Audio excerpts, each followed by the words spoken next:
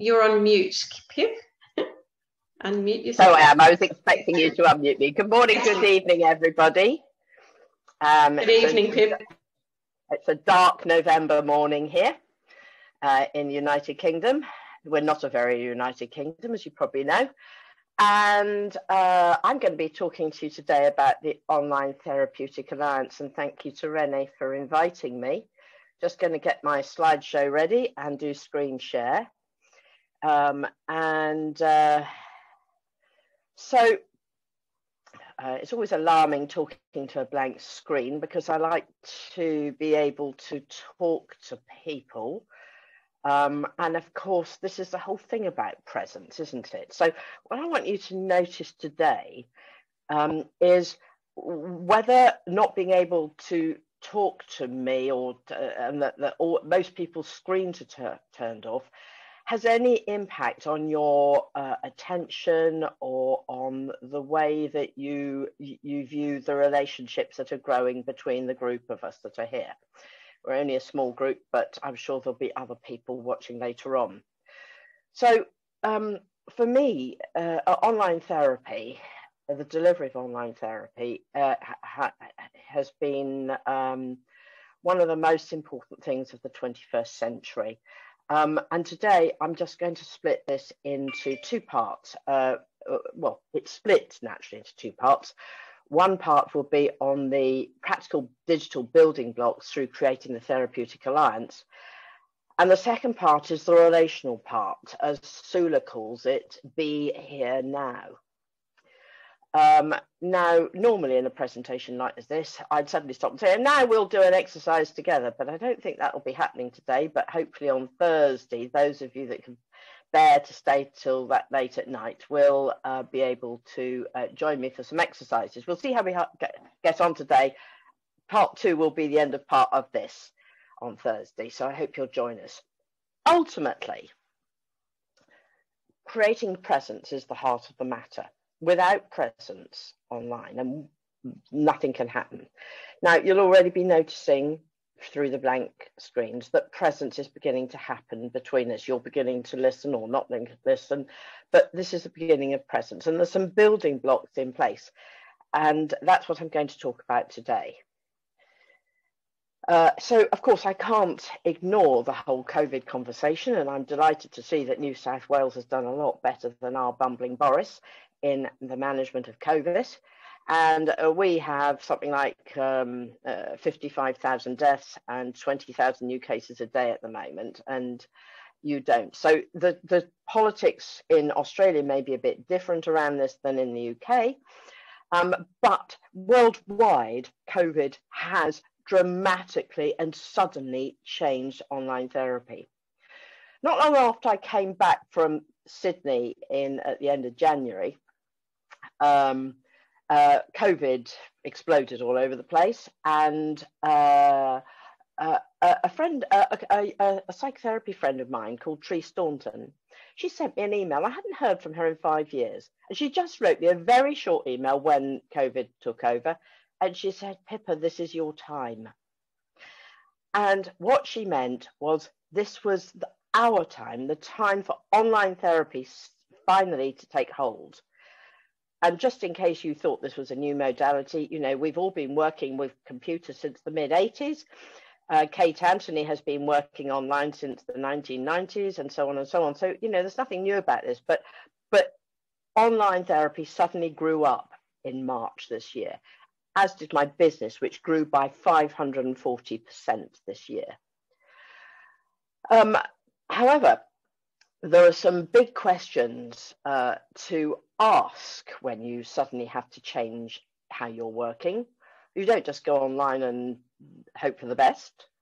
Um, and these are the questions, and and really, I think these questions should be pinned across e above each of our desks to think about, because ultimately, the care of our clients is the most important thing.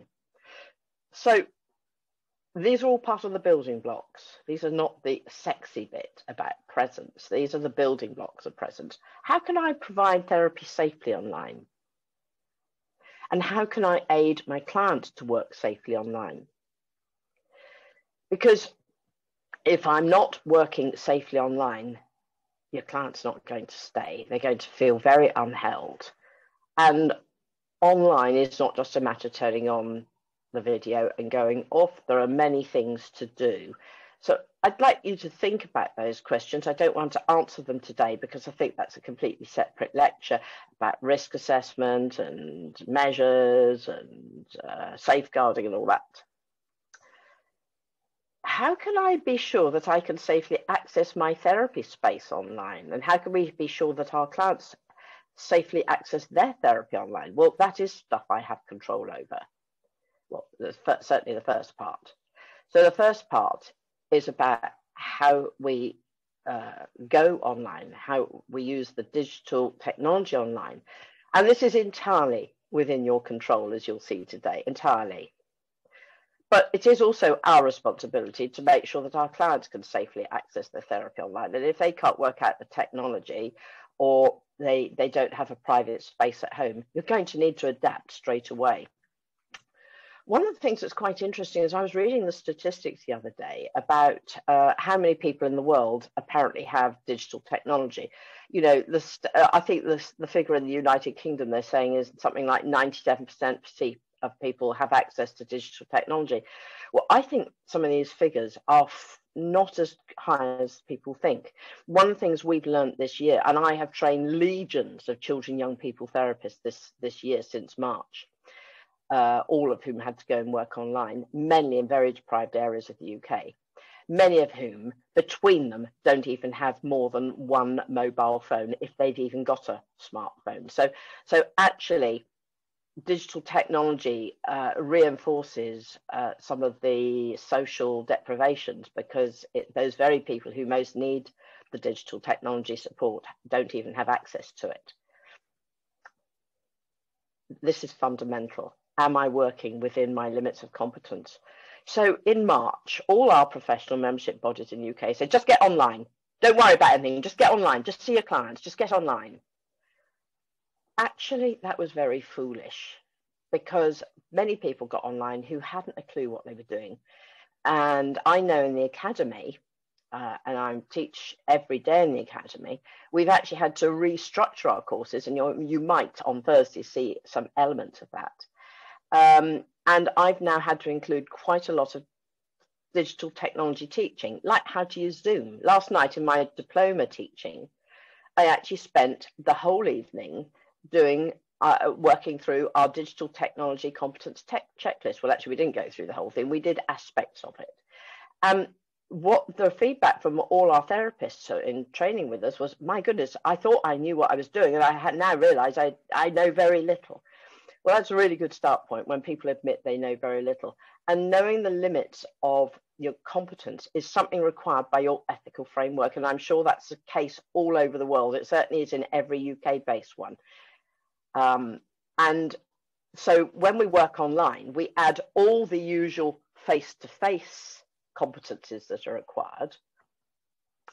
And on top of that, we layer the digital aspects that, that are required, both in the building blocks of how do you get onto Zoom or Teams or whatever you're getting onto, how do you make the technology work, but also how you uh, you transform your modality.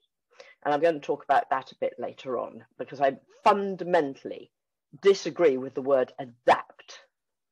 You know, people uh, adapting a bit of technology, it's a bit like adapting a, a, um, a, a, piece of kit to suddenly have electricity attached to it. It never works. You have to rethink it from scratch. So the, the, in these three questions, it's about knowing where your limits of competence are and going to get the help you need. Our ethical framework remains the go-to place at all times, whether it's an online framework or a face-to-face one. A good ethical framework will cover all aspects and modalities and delivery formats so, Susan Simpson, one of my favourite people, who did a lot of her work in South Australia at the University of Adelaide, South Australia, has recently published a new paper, which is in the references at the end, and the references in full down here. And uh, I would recommend you read everything that she has written.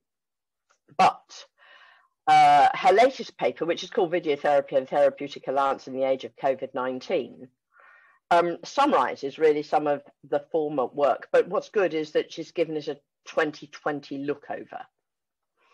So the bit that is important is in green, but I'm going to read the quote because the whole quote is important.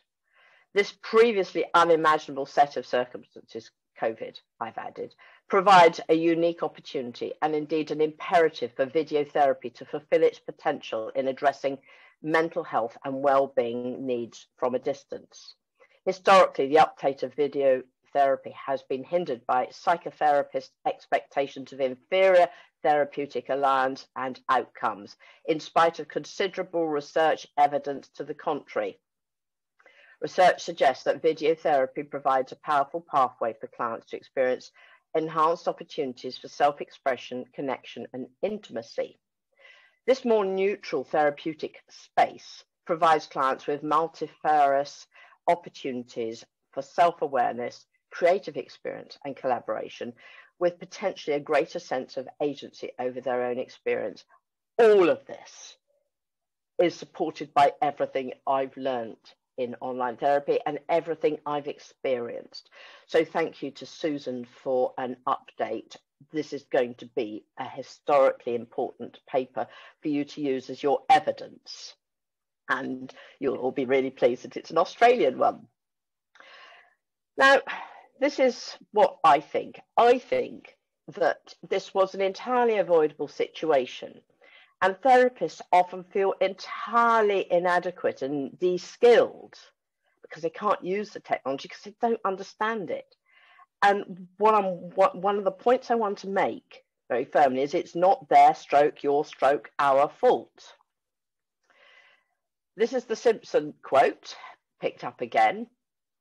And this means that as a result of our own de-skill, we can't possibly believe that anybody else can, can find online therapy useful. But it's actually, a, eh, certainly in the UK, failure by successive governments to train our population in working digitally. Do you know, I first had my work computer, a work computer in 1985. It's disgraceful that 35 years later, people can't do simple tasks like copy and paste on a computer. Failure by our psychotherapy and counselling and uh, organisations to consider working digitally seriously. I left psychology out of this list deliberately because I actually think psychology has done a bit better. Failure by psychotherapy and counselling training uh, professional membership bodies. So the, the, it, the word training is not necessarily there. Professional membership bodies to consider working uh, digitally seriously. They just didn't take it seriously. They laughed. Absolutely. I mean, you know, um, I was on the, I am a member of the uh, Psychotherapy and Counselling Union in the UK, and I some, put something up about one of my courses, a, a diploma course, a very serious 1500 quid course. And one of the members of the union put up, thanks for warning us. I'll tell my, my therapist to avoid this at all costs. That's the sort of uh, hysteria that was around created such a negative situation for online therapy. You know, it's considered a geek, an oddity, uh, and at the very margins of therapy. It can't possibly work was the m- most important thing I heard. It didn't matter how many Susan Simpson articles I'd trot out. It was an in- entirely avoidable crisis if they'd only invested in digital technology. We'd all have a lot more jobs as well now in COVID. My business has grown by 540%. So would other digital businesses. So we've, you know, you we've used computers for a long time, and therapeutically, we've been using computers for a long time. Even back in the 1990s, uh, the Samaritans were working with young men, suicidal young men, using email therapy um, because they worked out that that was the best way to get to them without uh, somehow the, the shame element coming in. Kate Anthony did her doctorate in 1993. Like Kate Anthony, I consider the queen of online therapy, you know, and she has been banging the drum for this ever since, but has been considered one of those weirdos on the edge. But all this changed. But it, this was an entirely avoidable situation. I feel very sorry for our therapists now because they feel de skilled at a time when actually they should have good skills to do this. And I'm not going to put up all the charts for this, but I have given you um, the information. Norcross, there are three go-to articles that I think everybody should read. Uh, video therapy uh, and therapeutic alliance by um, Susan Simpson et al. Norcross et al. on the future of psychotherapy. This was a forecast given in 2013. It's actually what they expected by 2022. And the third article that I think every online therapist should read is Some New Challenges by Carl Rogers, written in 1972. It ends the word something like, Do I dare? And the answer is, Yes, we must, on behalf of our clients. And what's interesting about this, written in 2010, published in 2013, was that the five predicted changes in therapy interventions are the arrival of online therapies, smartphone applications, self help resources beyond books, virtual realities, and social networking interventions. If you go back to 2010, you'll realize that social networking started not that long before then. So this was very visionary that they came up with this. And why is it that this was entirely ignored? Okay. And uh, we know that the efficacy of online therapy is there. So here we come onto the current context of COVID, the impact on the clients, the therapists, and supervisees, those poor supervisees who are languishing in the wilderness with no training about doing anything digitally, but are required by their ethical framework to be able to work within their limits of competence. And we in the UK, ha- we have a directory of online supervisors and um, we now have a, a, a, levelling in ACTO that requires um, our senior professional members to have online supervision uh, as part of their offering. Um, but we've got lots of opportunities that have come out of all this. Uh, this year, last year, seen the arrival of the ACTO competencies. Uh, we'll see those come up again later. Um, and the supervision competencies that have just been um, put together um, for ACTO.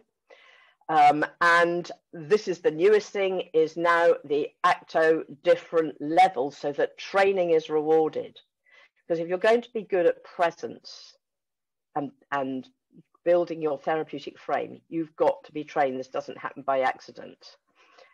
Okay. Now, this also means that we have to think about ourselves much more. Self care is far more important than it ever was before and it's more complicated than a quadratic equation, more of that later.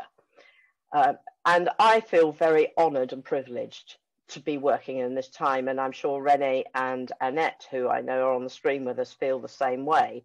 Um, they trained with the Academy as well. Um, and uh, I'm just going to zoom on through some of these um, to some of the things that we're offering that will help. So in terms of some practical skills, we've got some courses. When you receive this um, PowerPoint, uh, these are all hyperlinked, so you'll be able to link straight into things. And what we do have now is we put a digital technology competence uh, checklist together. Um, and um, I'm just going to stop the screen share um, to go to my web page. This is always a dangerous thing to do. Um, let me just get it up. Um, hang on. And where's it gone? No, there we go. And I'm just going to re-screen share that so that you can see that. And this is our our um, our um, page where hang on, I can't see anybody now. Got to move everything across.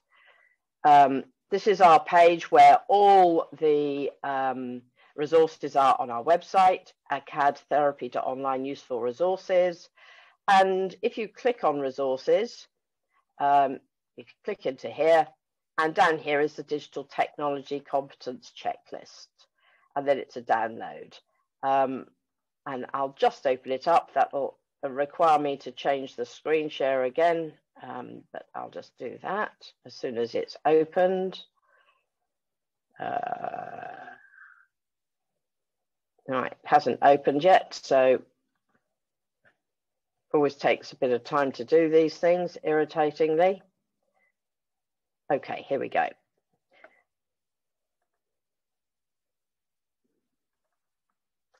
And there's a bit of instructions here. And all we're doing is we're suggesting you rate these. So uh, how you invite a client to Zoom securely, creating a meeting management list. Okay, if you do use Zoom, but you've never thought about that, you might put a, a, a put a, I need to do enable editing. Uh, you, you might click this and it's done in such a way that you can tick it. Uh, it's not going to let me because I'm on the screen share. Um, and in, uh, in a couple of um, months time, you'd want to go back to that again and have another go at it so that you can see how much you've improved. So I've just shown you the first one, there's, there's 20 of them, but you can download that from the internet and play with that to your heart's content. It's a free download for everybody. Okay, so we've talked, I've talked about how the online therapist requires transformation. This is not adaptation, it's major transformation. And um, uh, it, it is a serious matter. And and uh, Adrian Rhodes in a in a recent talk, and he's the chair of UKCP, uh, uh, sorry, of ACTO. He was the vice chair of UKCP. He's now the chair of ACTO, and he was uh, lecturing on on on an aspect, and you know, and he's a psychoanalytic psychotherapist. This is a group that are the most one of the most resistant groups to go working online, um, but not our Adrian, thank goodness. And he um, he talked about actually how important it was not to just turn on the video, but actually you have to strip your modality back and rethink everything you're doing in a, an exciting and new way. It's not a, an adaptation job, it's a real rethinking. Uh, so, so that the delivery that uh, the online therapy that we're delivering is based in gravitas. We all know how effective online therapy is, but we have to everything we deliver has to be based on research based and based in gravitas. So I talked earlier about the ACTO online uh, competencies, and here is the list of them. And I think this is really important to consider because if you fail to grasp any one of these, uh, and you know, you could uh, argue about whether these make any sense together. For example, number nine, endings and supervision in online therapy. I don't like them being together um, and there's another one I don't like being together, number six, text-based communication and creativity, because I think they're two separate things, but hey ho. Um, the key thing is, if you don't have competence in each of these 10 areas, actually it's probably more when you break them down, but 10, across these formats, video, audio, live chat, email,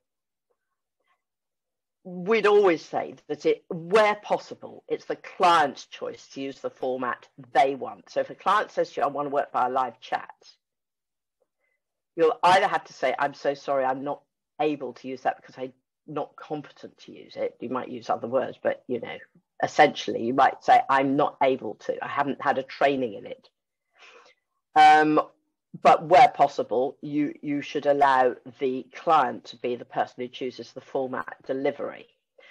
Which is why learning the four formats is so important. When we start our diploma course, we've got about 20 students on our diploma course at the moment. And when we started week one, they'd, they'd all gone for video. They'd all said, oh no, video is the only way. And uh, last week, they did an exercise in groups, which makes it even harder, using live chat. So live chat, just to clarify, is not WhatsApp, not Signal. It, it's via a computer.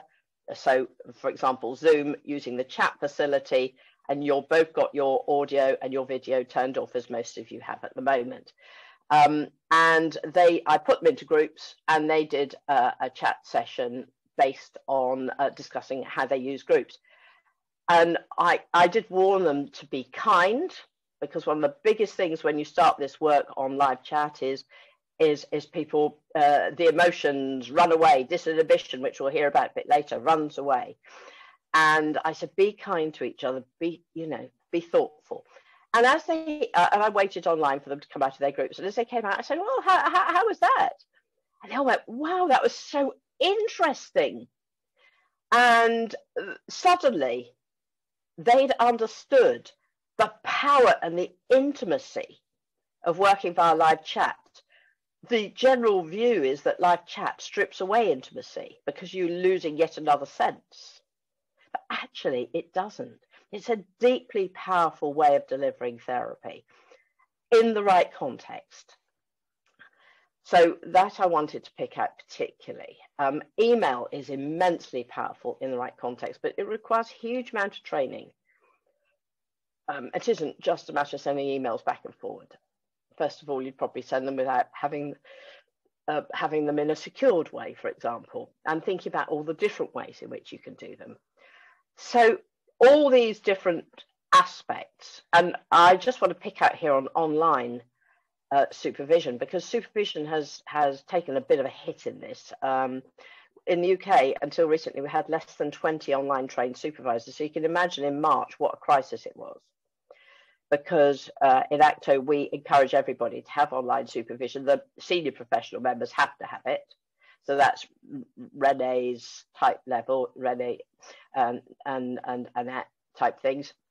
You'd you'd be having to have online supervision because the um, the uh, again the guidelines say that you should receive supervision in the format online supervision in the format that you're delivering your therapy.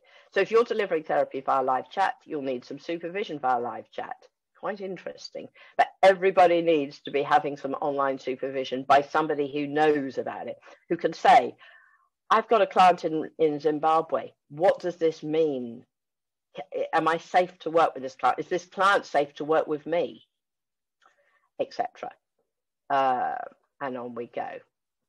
So I just started learning swimming, and um, uh, I did a little poll around my my diploma class last night, and about out of twenty, about four people could do the crawl. But most of it, uh, I just looked like a disaster. But I've been learning. So what I learned is that at 64, learning the crawl's not easy, and it's not a pretty sight and it takes about 20 hours to teach an adult um, the crawl. And there are five independent but interlinked items to learn, all these things. So I can do any one of those at one time. I might be able to do two of them at one time. But you asked me to do four of those at one time, disaster hit. And of course, the ultimate thing is number five is the timing. And, you know, that's a disaster. And um, the point about what we're talking about here is that it's like learning the crawl. You have to learn the digital skills separately and bolt them together, um, just like learning the crawl. And we have to nail these before we can even start to consider Suler's Be Here Now in his chapter on presence, which is required reading for everybody. So, thinking a little bit about self care, this ties into some of these building blocks as well. Um, so, I, I just have a little think. Okay, I love my little chappy here because there's everything bad about him. He must have wrist ache and neck ache and back ache and eye ache, and he's not wearing a headset. You can hear all sorts of noise coming out everywhere. There's everything wrong with this. So I'm not going to do this in detail, but I think you should do this slide in detail. And uh, the one I am going to come down to down here is to be aware of the boundary between home and work when working from home. It's really important to think about that. Last night we did an analysis of screens. It was very interesting.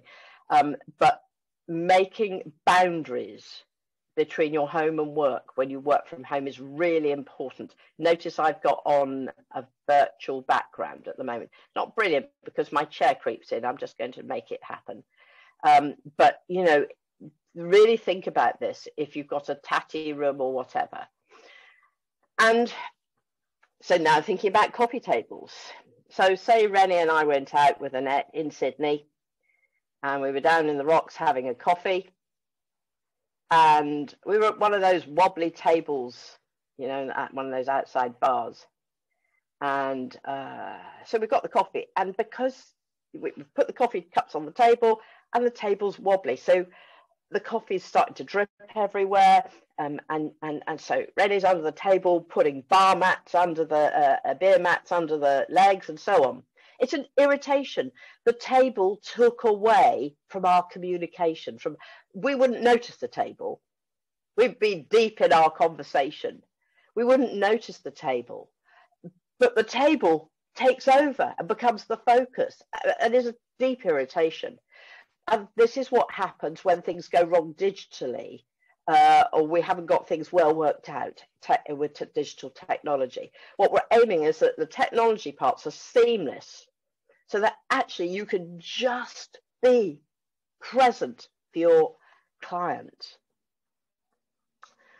And uh, I love talking about the therapeutic frame and the creation of screen presence. So Lombard and Ditton, I usually say to everybody, you shouldn't use references that are more than 10 years old for online therapy. Uh, they're, they're already pretty old at 10 years old. A student of mine uh, wrote a, a review of John Suler's 2016 book yesterday. And I was very amused to see that she, she in her final paragraph, said she thought it was a bit outdated. uh, I went, what? It's only five years old and it's brilliant but uh, it was an interesting comment about and, and, digitally so much changes so quickly. But this lombard and ditton article which is about the different types of screen present is really interesting it's mainly drawn from film and television. But it's absolutely nailed the different types of presence which we're not going to do so much of today but i've included them in the slides so you can go and read the summaries. So the definition of presence can be applied to any medium a medium that becomes invisible and produces a perceptual illusion, analogous to an open window which can provide rich verbal and non-verbal information for social interaction, presence as social richness.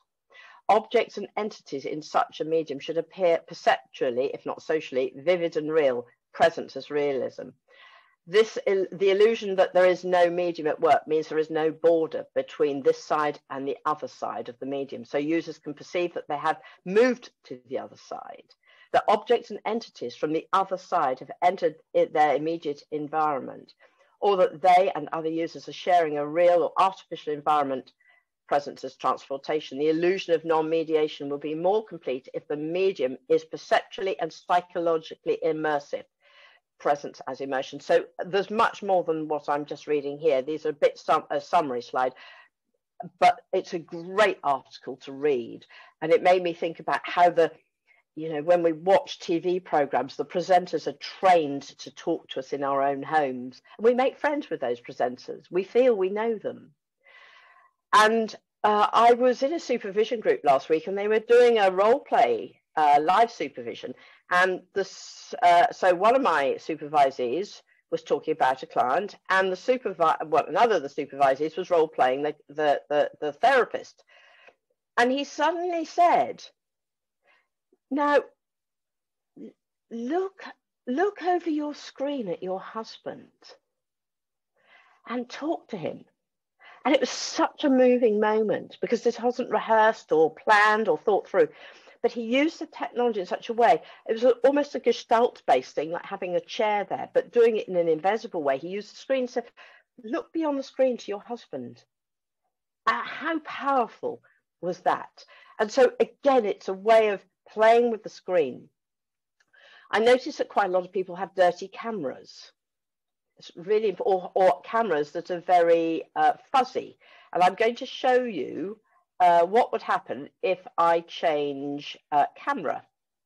So here we go. I'm going to change camera.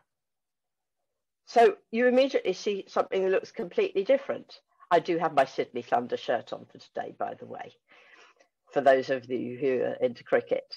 Um, I'm going to go back to, to, to the other camera, but the colours are not right on this, and uh, I'm a bit more fuzzy. Um, and so I invested, and now you see the difference. And I invested in a 99 quid camera. Well, that was quite expensive for a camera, made by Logi.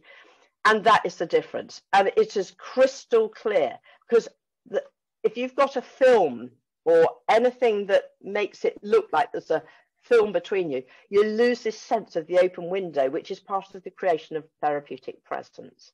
You're wanting to create the open window at all times so that there's an invisibility of screen between you. And when you get deeply into material, that, that screen disappears completely anyway.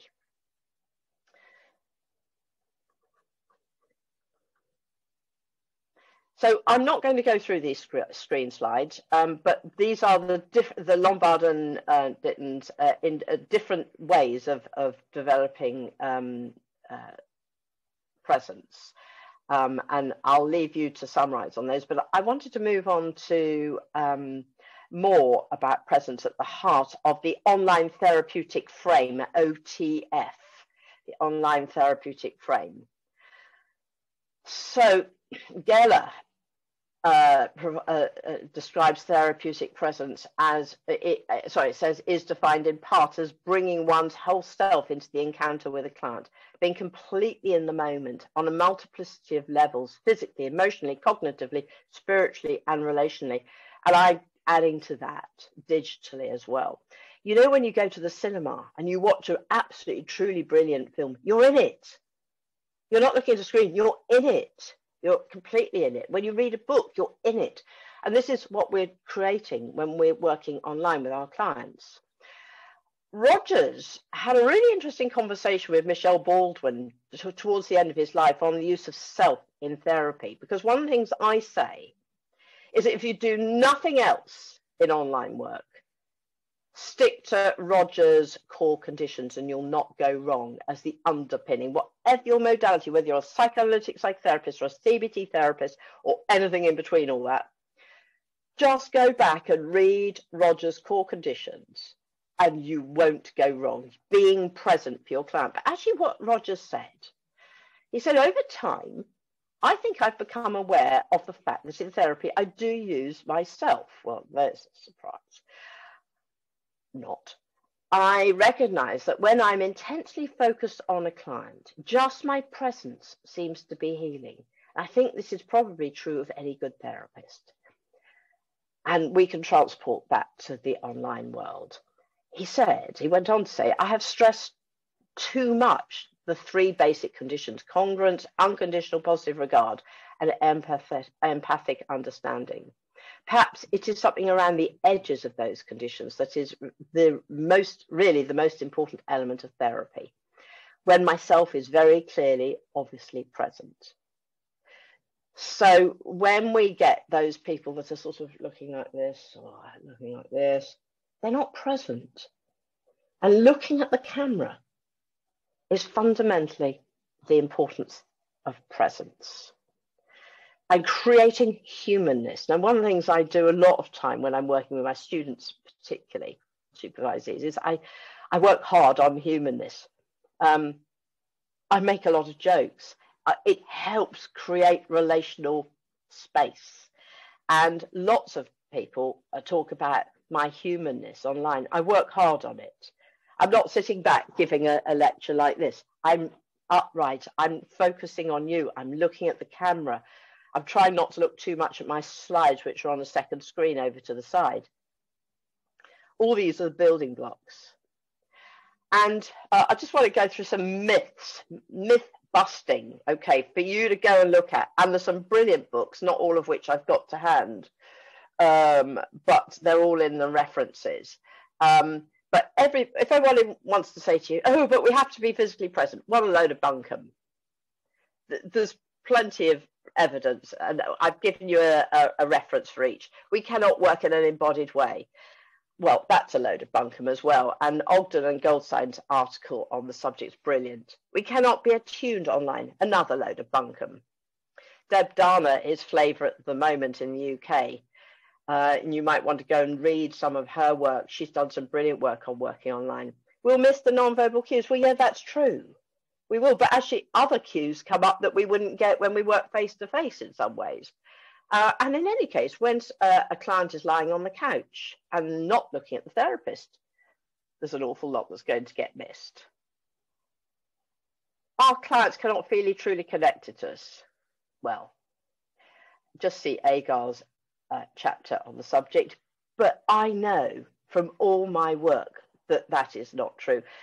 I have clients galore who say, I couldn't do this without my PIP. Now, my PIP is me, and I've never met some of these clients, but I have supported them through some terribly difficult times, including this year, of course, in COVID, when people are, some clients are in terrible crisis. Only the clinic room enables presence. Well, I hope even today, talking to you via uh, a disembodied video way with no people to look at, that I've helped to create a sense that this is possible. Notice how I'm passionate about what I do. And I think being enthusiastic and passionate is part of that creation of presence. Oh, I can see a typo. Hope you noticed it. Video therapy is the only effective online format. Uh, that shouldn't say that. Is it should say the opposite. I'll have to change the slide on that. It's complete rubbish. Um, sorry, it should say in-person therapy is the only effective. Oh, sorry, no, it, it was that. Video therapy is the only online format. That, that is rubbish because effectively what they're saying is that live chat, email, and audio don't work.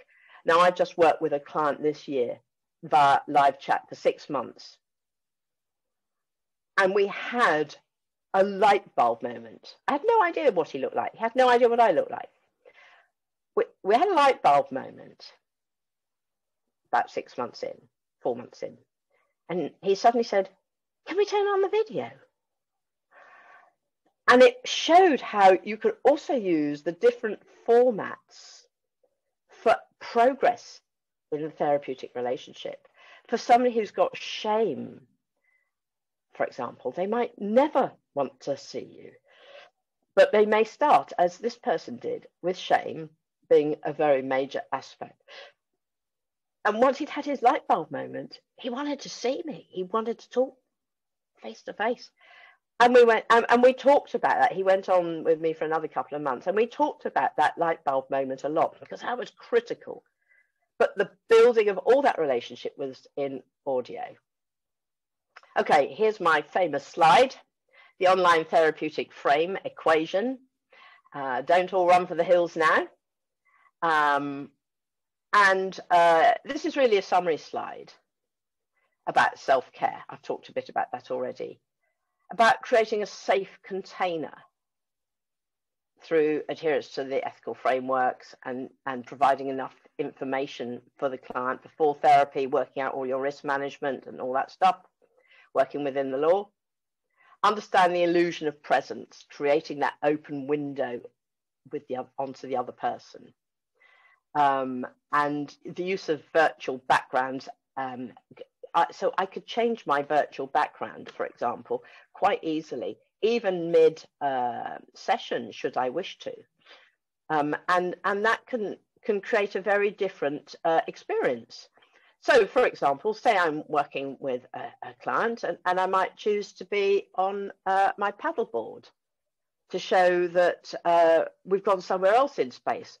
Or you can't see there because I'm sitting in front of my doggy, but there we go. You see my doggy. You, each of these things create a different illusion. And uh, it's very important. So if I change to uh, this format, for example, this might look too office-like. So even thinking about, and this would be thoroughly inappropriate for, for video, a lot of fun, but inappropriate for, for, for, for therapy. Um, and so, um, you know, just playing even with your virtual backgrounds can make a big difference. We talked about Rogers' core conditions, the creating of a sense of humanness, uh, understanding and using the power of the digital relationship. We're going to come on and talk about disinhibition and transference, all these, all these things that are good psychodynamic techniques can all be used very effectively in the online uh, format. In fact, possibly are even more powerful. Even uh, uh, I, I'm thinking about rejection, misunderstandings, and ruptures. And when I trained originally, Remember, Anne Stokes used to always say, assume goodwill. And that was probably one of the most important things I learned assume goodwill. And I would encourage you all to always assume goodwill. Uh, you know, those emails that come across, well, we might talk about those, but it's because we don't assume goodwill. and developing, transforming your modality to the online context. Very, very important to, to, to, to do that, not just to adapt it and to turn on the, the, the video. This all happens within the context of uh, you receiving online supervision from a suitably qualified online supervisor who can help you. If you haven't had formal training, all these things will help you. Uh, a supervisor will help to guide you and point you where you might get some extra help if you need it.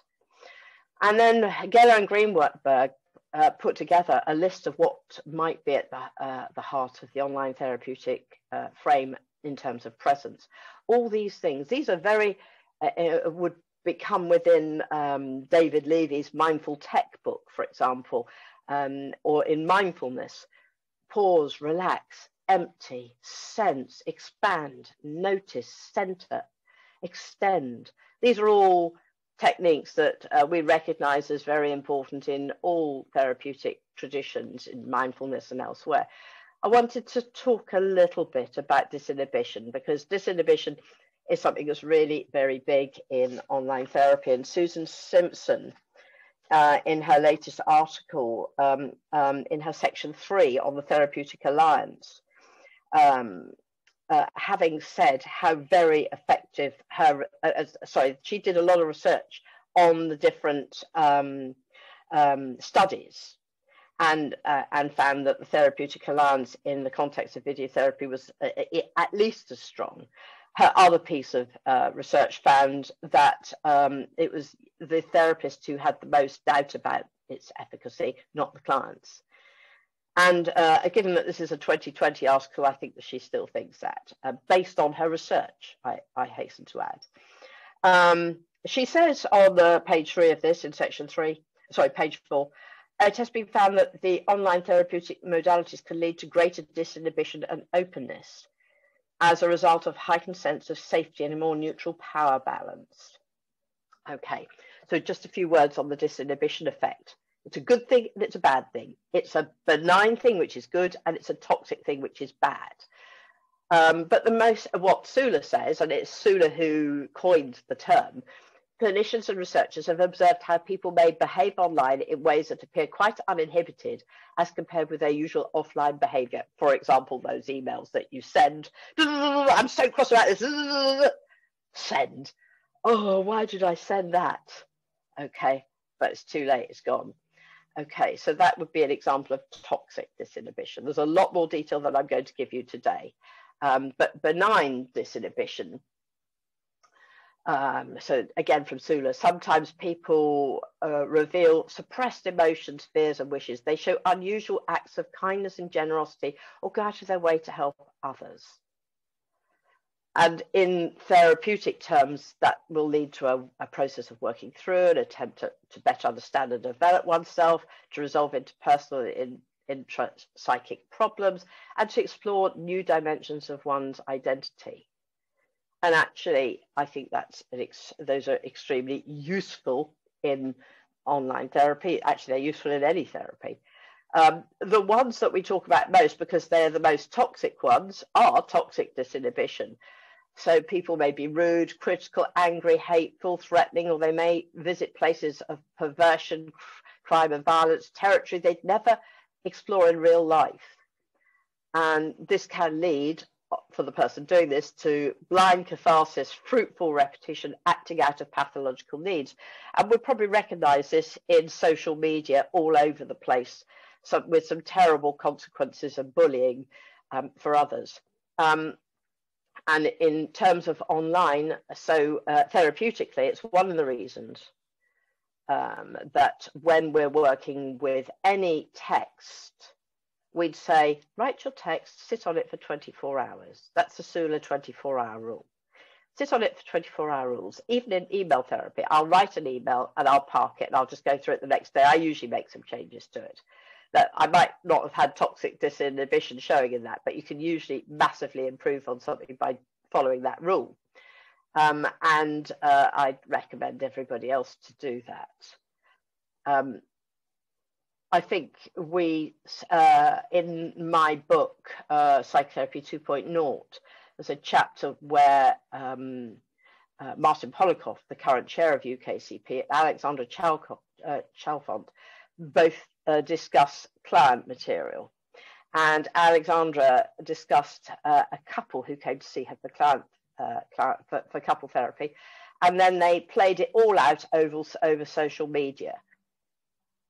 You, so this then leads into being really sure in our contracting with our clients about the need to have boundaries firmly in place about the use of social media, etc. So boundaries are really important. Online, they're incredibly important. And uh, we're just coming to a few final slides on the therapeutic frame. So uh, this is a slide put together by my colleague Rachel Klug. And where are, where are you in the client? What space? What is it confidential? And the therapist, closeness to the camera, what's behind you? So notice that if I'm like this, I'm way into your face. I'm not if I'm sitting like this, I'm looking very uncomfortable. I had a supervisee recently who, who came into me and she complained of exhaustion um, because of all her online work. And I'm just going to do something. So I've got these um, goose, they're called goose. You can get them on Amazon and they hold anything and they're flexible so you can move them around. So now you can see that I'm sitting like this because I'm looking at my camera that's up there. My finger pointing up tells you it's in the wrong place for a start. It should be below my eye level, two inches. What's that in centimeters? I don't know. That's two inches in old money. And um, so I'm looking like this. The supervisor came into me and she said, I'm so exhausted. I, have had to cut down on my clients. I said, why not? So after a bit, I thought, do a teller. And so I, uh, in the end, I thought, well, this is what supervisors do. So I, um, so I've now put it back to about two inches below my uh, eye line and, and, and I've got it straight. So we have our straight lines. Well, you would have if I didn't have a virtual background. Um, and um, she told me she was exhausted. And I said, well, I'm wondering, I'm finding it very uncomfortable watching you looking up at me like that because your neck is cricked. You're sitting badly on your chair and it's like you're looking at me on the ceiling. Your camera's on the ceiling. Well, it, of course, it wasn't. It was just about a foot higher than her head. Um, and the next month she came back and she said, Thank you so much for telling me that. She said, I have felt so much better. I've ordered a new chair and I'm and my camera's in the right place and I'm now not feeling nearly so exhausted. And I know I'll be able to do more. And I feel better relationally. And it was such a result to be able to do that. But it, you know, you can't just chuck that into people you don't know. You have to build trust, and trust is an essential part, whether it's of the supervisory relationship or uh, of um, therapy. Um, and with it, once you're in that trustful situation, you can be immersed, but you have to convey safety at all times, and that they we are in this together. I've talked about each of these aspects differently, so I'm not going to go on. And I just wanted to finish with a, a little funny here, actually, uh, for you to think about. Um, so you've got 25 pictures here, and there's only one that I think is halfway decent, but it's not even perfect. And I wonder if you know which one it is. So I'm going to tell you that possibly number four, possibly, is the best of them there's something wrong with all the others. This one's obviously an open office. This one, you can't see anything at all. Deaf to any online therapist have a window behind you or beside you. She looks like she's doing something else. She just randomly has a camera turned on. This guy is probably the best, but he's got his camera leaning back. So the lines are not vertical. This is a photographic trick. That's why having your camera two, two inches below your eyesight and getting everything straight is important um, and so on and so on. We can see all the rest of this one here is definitely off. The door is open. This one is clearly not concentrating on her client. And uh, the light's in the wrong place here and here and here and here. And she's got a fuzzy camera. Just at least tease the camera. That would help. Okay, I'm going to stop there. I have many more slides, but uh, I will do some more of those on Thursday and um, we'll um, do more practical things on Thursday. So over to you, uh, uh, Renee. All right. Thank you, Pip. Um, thank you for that awesome um, presentation. Um, and um, thanks everyone for listening in. I just wanted to um, gauge if there were any questions. And I guess I wanted to, before we hit to questions, add in my research um, on some of uh, what you are talking to. Funny enough, um, a lot of it is around presence, which is very fascinating mm. and brings in alternate research outside the therapeutic space, which is fascinating as well. Um, and um, all of that is talked about in my advanced training. So um, over to everybody, um, over to everybody if you had any questions. I think Elise is talking about, she got lots of good um, tips, particularly um, the clean camera one. anyone yeah, else? That's a small thing, isn't it? it's amazing how a little small tip can make such a big difference, like clean your camera.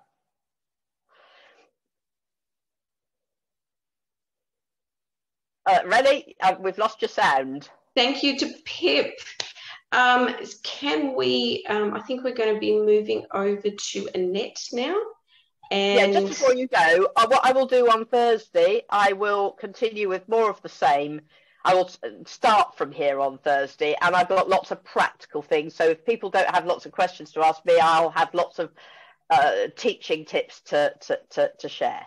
Yes, um, and I thought I'd add something to to throw in the mix, Pip. I actually, on purpose, have a soft um, a soft camera lens on purpose. I, I come from an acting background, and on purpose, I have a soft lens to actually engage with the um, congruence of soft um, soft skills and the spiritual approach. So that's something else I thought I'd put out there. Um, interesting. Um, yeah, so um, over to you, Annette. Hi. Hey everyone, I will start sharing. Hopefully it will go well. We have a storm here where I'm at, um, so that's good. Let me see. Can everybody see this? Am I muted?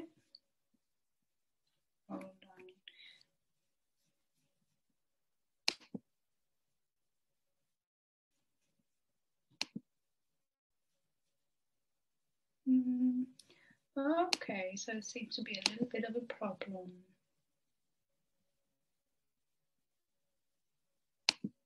Stop sharing. Renee, can you hear me? Yes, are you having trouble?